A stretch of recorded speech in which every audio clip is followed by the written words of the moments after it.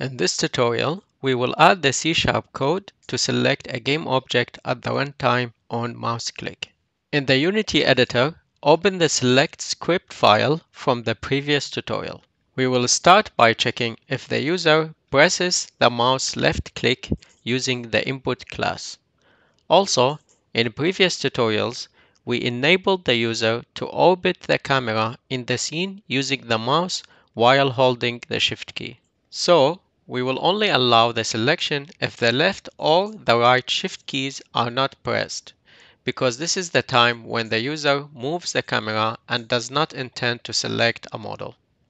We also want to make sure that the mouse or the pointer is on a game object and not on a UI element.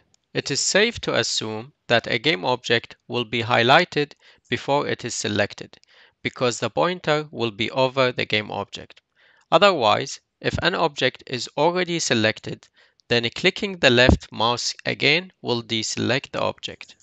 In the case of deselection, we assign the object's original material that it has before the selection back to it, and the object will be deselected.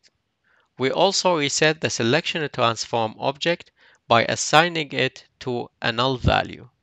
Okay, if an object is selected, and a user clicks the left mouse click, we will reset the currently selected object by assigning its original material back to it. Then we get the selection transform object from the new raycast hit resulted from the left mouse click.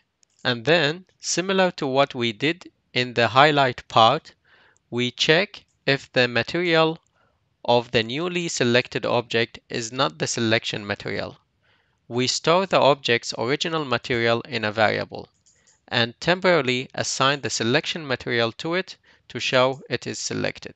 And we reset the highlight transform by assigning the null value to it. That's it for the code. Let's save the file and go back to the Unity editor. Select the scripts game object that our select code is attached to. Open the material folder and drag the magenta and magenta light materials to their spots as materials for the highlight and the selection.